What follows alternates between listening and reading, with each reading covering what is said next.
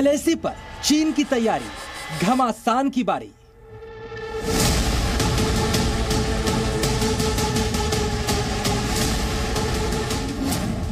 चीन क्यों बढ़ा रहा? हथियारों का जखीरा।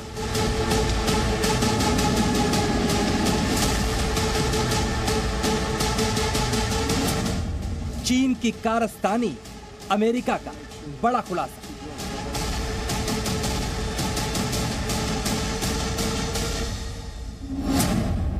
साजिश का जवाब, हिंद की सेना का पराक्रम।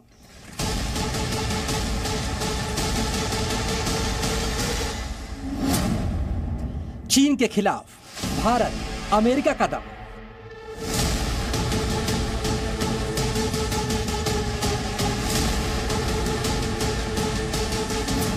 अगला गलवान होने वाला है।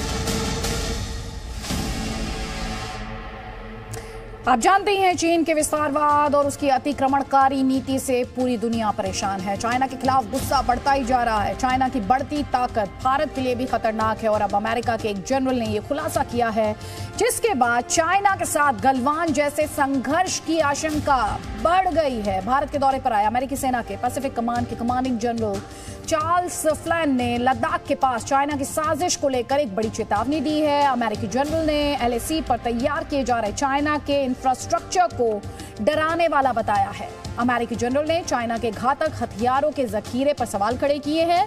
चाइना का पश्चिमी थिएटर कमांड आक्रामकता दिखा रहा है और ऐसे में अमेरिकी जनरल ने चाइना के खिलाफ भारत और अमेरिका को साथ मिलकर काम करने की नसीहत दी है। इसी कड़ी में भारत और अमेरिका हिमालय के क्षेत्र में बड़ा युद्धाभ्यास भी करने वाले हैं।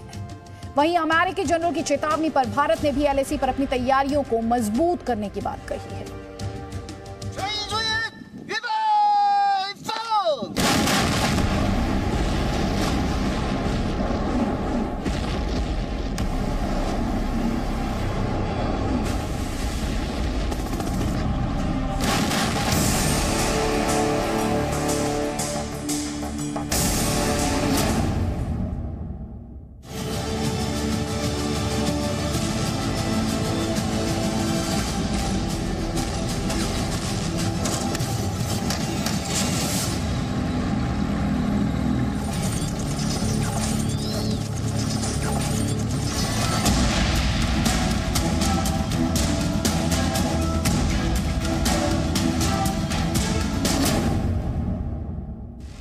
एशिया की दो महाशक्ति भारत और चीन।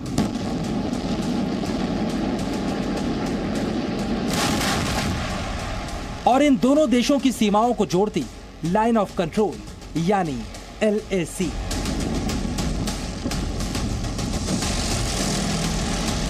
और इसी एलएसी पर बढ़ता जा रहा है तनाव।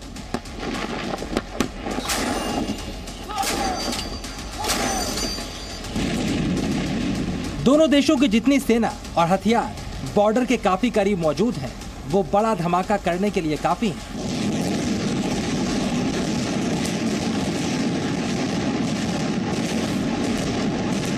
चीन ने पूर्वी लद्दाख में अपने साठ हज़ार से ज़्यादा सैनिकों को तैनात कर रखा है, जिसके जवाब में भारत ने भी इतनी ही संख्या में जवानों को चीन का काउंटर करने के लिए तैनात किया है।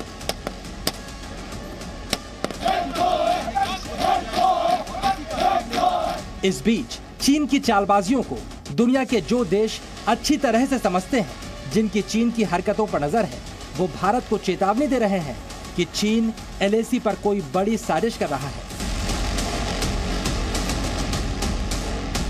चीन जो लगातार वीडियो जारी करके अपनी ताकत की नुमाइश करता रहता है, वो अब एलएसी पर ताकत बढ़ाकर किसी बड़ी साजिश की फिराक में है।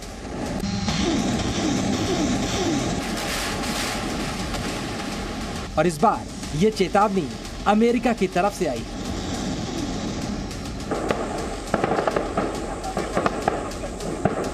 भारत के वायुसेना प्रमुख, air chief marshal V R Chaudhary से हाथ मिला रहे ये हैं अमेरिकी सेना के पैसिफिक कमान के कमांडिंग जनरल चार्ल्स एफ्लेन जिन्होंने चीन को लेकर एक बड़ी चेतावनी जारी कर दी है, जो एलएसी पर चीन के इंफ्रास्ट्रक्चर की बढ़ोतरी से जुड़ी है।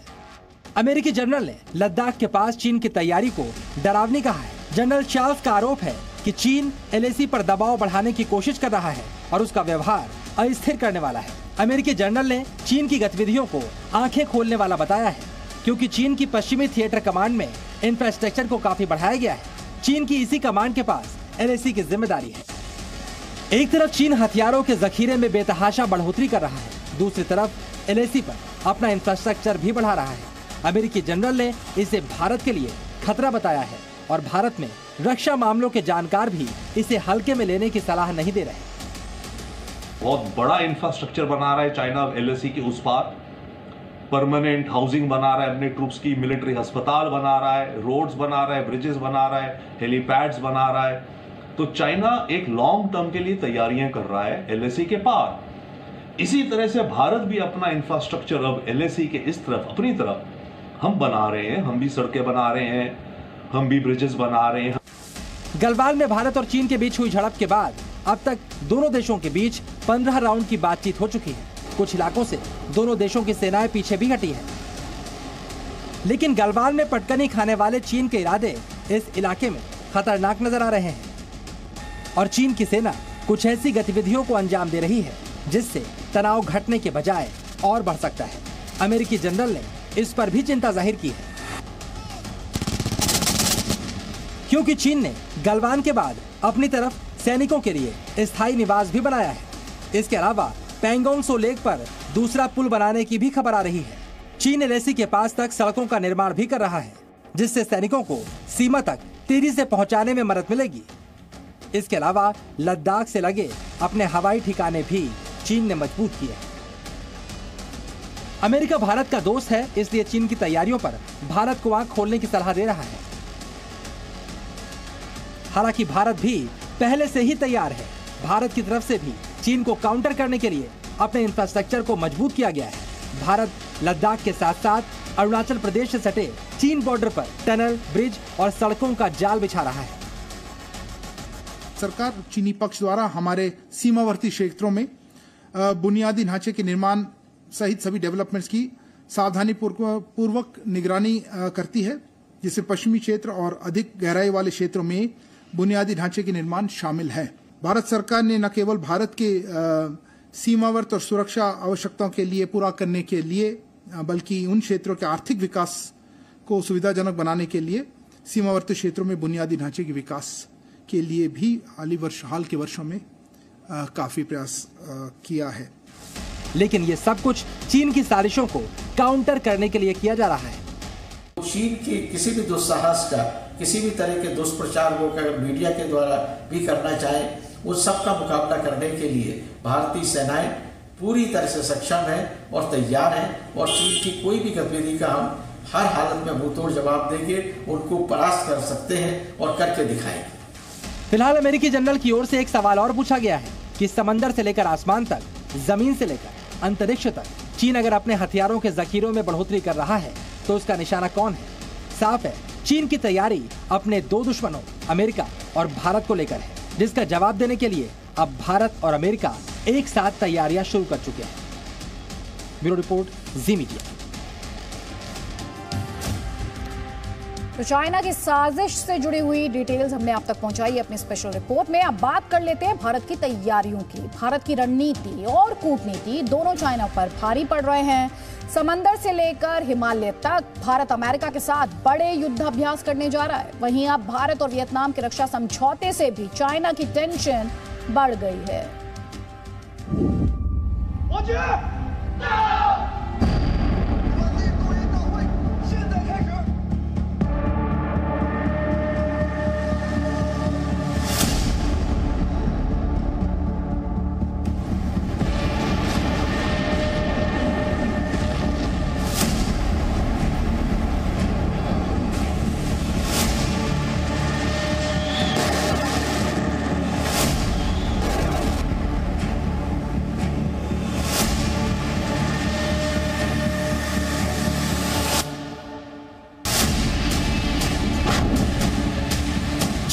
ताकत का जवाब भारत ताकत से देने को तैयार है। चीन एलएसी पर कोई साजिश करता है तो हिंद की सेना सुपर रेडी है। वैसे गलवान में भारतीय जवानों का गर्दन तोड़ पराक्रम चीन की कागज़ी सेना अब तक भूली नहीं होगी। और अगर वीडियो वॉर करने वाली चाइनीज़ आर्मी की याददाश्त कमज़ोर होगी तो भारतीय जवान पराक्रम की दूसरी डोज भी देने को तैयार हैं। भारतीय सेना प्रमुख जनरल मनोज पांडे भी साफ़ कर चुके हैं कि एलएसी पर हिंद की सेना मज़बूत स्थिति में है। और किसी भी बदलाव की गुंजाइश नहीं As far as the situation all on the LAC is concerned, our troops are there in a very firm, resolute, in a peaceful manner, and ensuring that there is no change in the status quo.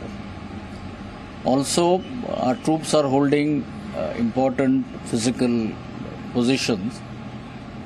But in all this, we are very clear that uh, we will not permit any changes in the status quo and any loss of territory. इसके अलावा LAC पर साजिश कर रहे चीन की बौखलाहट भारत की कूटनीति से भी बढ़ती जा रही है। जापान में हुई क्वाड मीटिंग में भारत अमेरिका ऑस्ट्रेलिया और जापान ने चीन को साफ़ संदेश दे दिया था कि अब चीन की दादागिरी नहीं सही जाएगी। इधर वियतनाम के साथ हुआ भारत का रक्षा समझौता भी चीन को बेचैन कर रहा है। भारत और वियतनाम ने वर्ष 2030 तक रक्षा संबंधों को और मज़बूत करते हुए एक सैन्य समझौते पर हस्ताक्षर किया है। इस समझौते के साथ भारत और वियतनाम एक दूसरे के सैन्य ठिकानों का प्रयोग कर पाएँगे, जिससे चीन की चिंता बढ़ गई है। वियतनाम के साथ डिफेंस एग्रीमेंट जो आज हुआ है भारत का, ये बहुत अहम है। इनफैक्ट काफ़ी हिस्टोरिक है।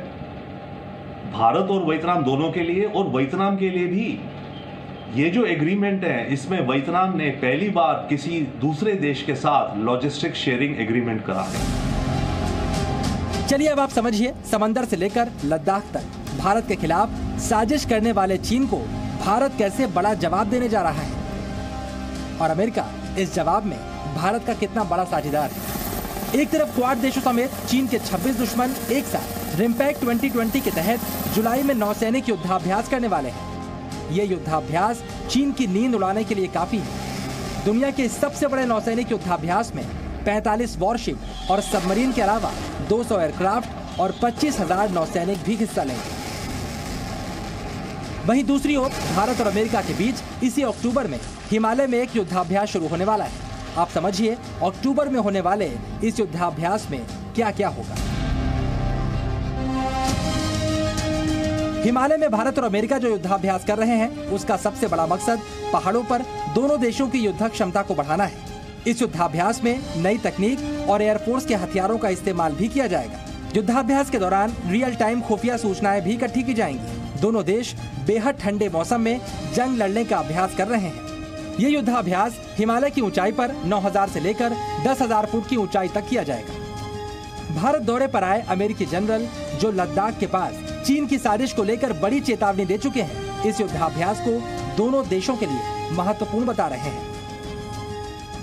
मैं समझता हूँ कि यह महत्वपूर्ण है कि हम एक साथ मिलकर काम करें, ताकि चीन के दबाव बढ़ाने वाले व्यवहार को जवाब दिया जा सके। साफ़ है, जिस वक्त चीन लद्दाख के पास साजिश कर रहा है अमेरिका भारत के साथ हिमालय में युद्धाभ्यास करके साफ़ संदेश देगा कि चीन की दादागिरी ना तो दक्षिण चीन सागर में बर्दाश्त की जाएगी, ना ही एलएसी पर ब्यूरो रिपोर्ट जी मीडिया यहाँ पर ज़रूरी हो जाता है आपके लिए भारत और चाइना की सैन्य ताकत को समझना। तो भारत के पास अगर सैनिकों के लिहाज से बात की जाए तो चौदह लाख पचास हज़ार सैनिक हैं। वहीं चाइना, जैसे कि कम्युनिस्ट पार्टी की सेना कहना चाहिए, देश की सेना नहीं, पार्टी की सेना, उसमें 20 लाख सैनिक हैं। भारत के पास दो हज़ार एक सौ बयासी एयरक्राफ्ट हैं तो चाइना के पास तीन हज़ार दो सौ पचासी एयरक्राफ्ट हैं। फाइटर एयरक्राफ्ट की बात की जाए तो वो नंबर भी अब आपके स्क्रीन पर, पाँच भारत के पास, उससे डबल से ज़्यादा आप कह सकते हैं, चाइना के पास है करीब 1200 भारत के पास 805 हेलीकॉप्टर्स हैं वहीं चाइना के पास 912 हेलीकॉप्टर्स हैं। भारत के पास टैंकों के लिहाज से बात की जाए तो 4,614 टैंक हैं वहीं चाइना के पास 5,250 टैंक हैं। सैन्य वाहनों की भी बात कर लेते हैं तो भारत के पास हैं 12,000 सैन्य वाहन तो चाइना के पास कहना चाहिए करीब करीब तीन गुना पैंतीस हज़ार सैन्य वाहन हैं। भारत के पास दो युद्ध पोत हैं तो चाइना के पास 777 युद्ध पोत हैं। भारत के पास है 17 17 सबमरीन्स और चाइना के पास ये नंबर है उन्यासी का 79 का। एयरक्राफ्ट करियर के मामले में, एयरक्राफ्ट कैरियर के मामले में माफ़ कीजिएगा तो भारत के पास एक एयरक्राफ्ट कैरियर है, वहीं चाइना के पास ये नंबर जो है, संख्या जो है दो की है।